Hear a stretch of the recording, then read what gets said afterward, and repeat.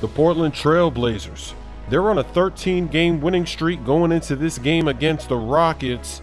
This is a big test, but the Blazers, they've taken down many teams on this streak. Harden gets the slam.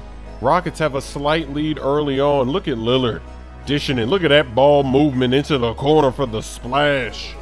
Aminu gives the Blazers the lead momentarily. Tie game in the second quarter. CJ McCollum dancing with the footwork, the up and under move. Coming back the other way, it's Harden dribbling the defender to death.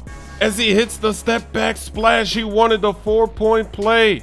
Eric Gordon left wide open.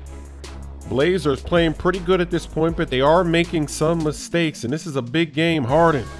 Second half gives it to Capela, who throws it down over Nurkic. Now Harden is working on Lillard. He's dancing, gets all the way to the rim for the layup.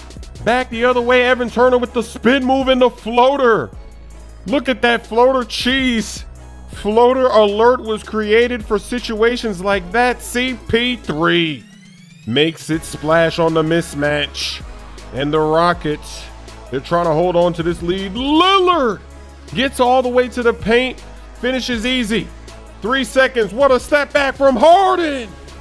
Harden finished this game with 42 points. He had five threes. He gets double teamed. He doesn't even care. The Rockets end the 13 game winning streak. They say you're not a champion until you defend your belt. This could be over quickly. It's only been a minute. It's a two gate submission. Two gate cheese. Oh, oh, oh, oh, look at this. Ooh, Moses got